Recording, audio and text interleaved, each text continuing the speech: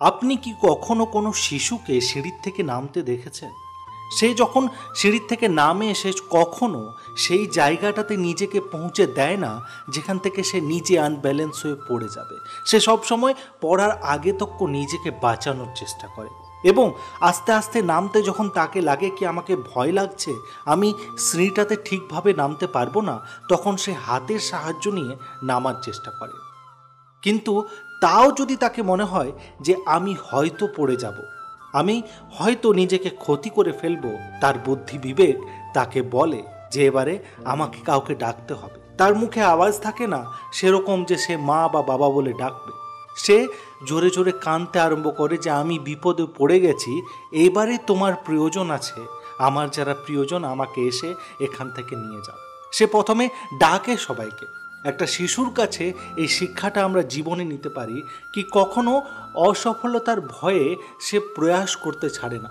সে সবসময় এটা চেষ্টা করে কি আমি কীভাবে সিঁড়িতে নামবো। আর যখন তাকে লাগে যে আমার ছোট পা সেই সিঁড়িটাকে সম্পূর্ণভাবে টাচ করতে পারবে না, তখন সে হাতের সাহায্য নিয়ে নামার চেষ্টা করে। কেন কি শিশুর জন্ম থেকে এই জিনিসটা মাথার মধ্যে চলে আসে। যে যদি আমি ভয় করব, তাহলে আমি অজানাতে একজনকে নিজের শত্রু বানিয়ে ফেলব। আর সেই শত্রুটা কে? জানতে চান? সে শত্রুটা হচ্ছে বুদ্ধি। যখনই মানুষ ভয় করে, তখন তার বুদ্ধি বিবেক সবচেয়ে প্রথমে মরে যায়। আর সে সেই শিশুটা কখনো করে না। কিন্তু যেরকম যেরকম আমরা বড় হতে আরম্ভ করি, আমরা নিজের জীবনে ভয়কে আত্মসাৎ করতে আরম্ভ করি, আর তার জন্যে আমাদের মধ্যে বিভিন্ন রকমের চিন্তা ধারণা আরম্ভ হতে লাগে। কি হয়তো আমি এই কাজটা করব অসফল হয়ে যাব। তার জন্যে আমি এই কাজটাই করব না।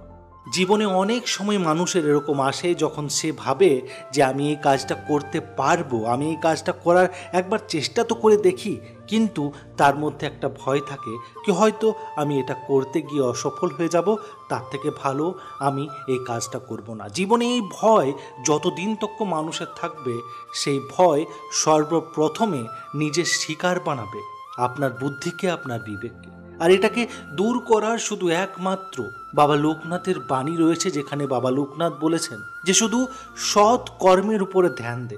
তোর কর্ম যদি সৎ থাকে, তাহলে তোর লক্ষ্যকে ভেদ করতে এক মুহূর্ত সময় লাগবে না। কর্মকে যদি সৎ করে মানুষ নিজের কাজে মন দিয়ে এগোয়, তাহলে বুদ্ধি বিবেক তার সবসময় সঙ্গে থাকে। অসফলতার ভয়ে প্রথমেই যদি আমরা কাজ করতেই বন্ধ করে দেব, তাহলে জীবনে কখনো সফলতার মুখ দেখা যাবে না, কখনো জীবনে এই ভয়টাকে দূর করা যাবে না। মানুষ যদি ভয়কে দূর করতে চায়, তাহলে কর্মক্ষেত্রে সৎ হয়ে কাজ করতে হবে। যেরকম সেই শিশুটা করল। সেই শিশুটা প্রথমে চেষ্টা প্রচুর করল কি যাতে আমি কাউকে না ডেকে এই সিঁড়ির থেকে নিচে নামতে পারি। কিন্তু যখন তাকে লাগল কি এবারে, এখানে আমি নেমে যেতে পারব বা এখান থেকে হয়তো আমি নেমে যেতে পারব না, তখন সে নিজে পরিজনকে ডাকলো তার জন্যে মানুষ প্রথমে চেষ্টা করুক। মানুষ প্রথমে নিজের কর্মক্ষেত্রতে সৎ পথে এগোনোর চেষ্টা করুক আর তারপরেও যদি কোনো বাধা আসে, তাহলে সেই শিশু যেরকম মাকে, বাবাকে ডেকেছে, কেঁদেছে মা বাবার জন্য, সেরকমই আপনিও নিজের ঈশ্বরকে ডাকুন। আপনিও নিজের প্রভুকে ডাকুন, আপনিও বাবা লোকনাথকে ডাকুন। জীবনে সফলতা কখনো আপনার থেকে বিমুখ হবে না। ভিডিওটি যদি ভালো লেগেছে, অবশ্যই চ্যানেলটিকে সাবস্ক্রাইব করবেন, শেয়ার করবেন নিজের প্রিয়জনদের মধ্যে এবং আমাকে জানাবেন এই ভিডিওতে আপনাকে সবচেয়ে ভালো পাঠ কোনটা লাগল।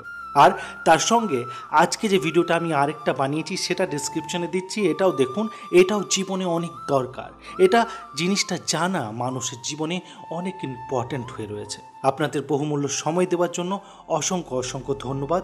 সুস্থ থাকুন, ভালো থাকুন।